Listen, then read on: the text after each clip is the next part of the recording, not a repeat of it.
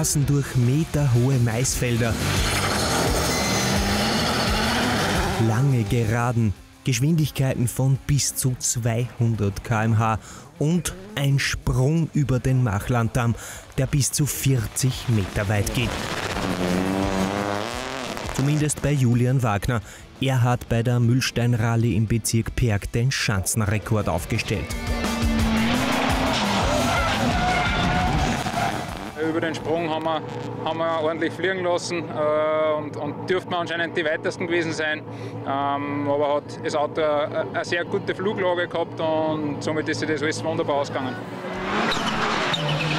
Eine Rallye-Show, die für die Piloten bereits drei Stunden vor dem Start losgeht mit der Besichtigung.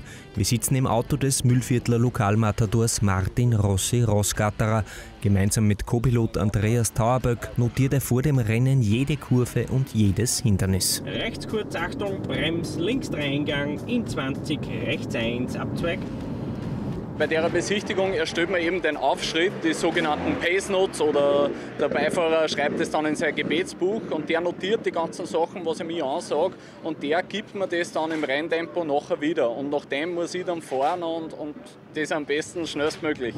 Kuppe gerade, Rihal in Linkszug hat Abzweig. Ob jetzt innen in den Kurven irgendwas steht, äh, Meteranzahl, dass man auch die richtigen Bremspunkte erreicht und ja, dass man jetzt sauber fährt. Das Ziel von Martin Rossgatterer für die heutige Rallye Top 5 in der Gesamtwertung.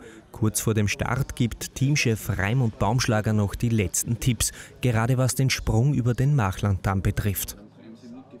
Naja, ich meine, du kannst dort alles tun. Ich sage einmal, äh, jeder, der über 130 gefühlt jetzt da drüber fährt, der wird ordentlich gescheit springen und wird dann auch seine Troubles kriegen. Der wird schon werden zu der Schikane hin. Also der Großteil, glaube ich, wird wahrscheinlich Leichtspringer was auch vernünftig war, meiner Meinung nach, weil ja, die Radl, die in der Luft sind, die beschleunigen nicht und da ist gescheiter, du bremst halt vorher ein bisschen ab. Insgesamt müssen die Piloten vier Sonderprüfungen mit 98 Rennkilometern bewältigen. Was neben der Besichtigung wichtig ist, ein perfekt aufs jeweilige Rennen abgestimmtes Auto. Dafür verantwortlich der Renningenieur. Wir haben da einen USB-Stick im Auto, der zeichnet äh, hauptsächlich die Daten vom Motor, Antriebsstrang, Elektrik auf. Und wir können da kontrollieren, ob alle Systeme funktionieren und auch ein bisschen, ob der Martin das Auto richtig nutzt. Das heißt, ob er zum richtigen Zeitpunkt schaltet, äh, wie er Gas und Bremsen betätigt.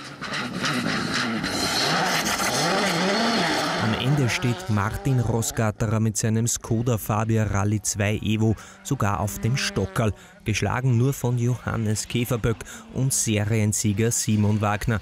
Er ist in der Vorwoche zum zweiten Mal vorzeitig österreichischer Rallye-Staatsmeister geworden. Können wir schon stolz drauf sein. Das Team hat über das ganze Jahr keine Fehler gemacht, hat einen Top-Job gemacht. Der Gary, der Beifahrer, unsere Partner haben uns auf die war immer verlassen und von dem her glaube ich, ist schon ein toller Erfolg. Für Bruder Julian ist es weniger gut gelaufen.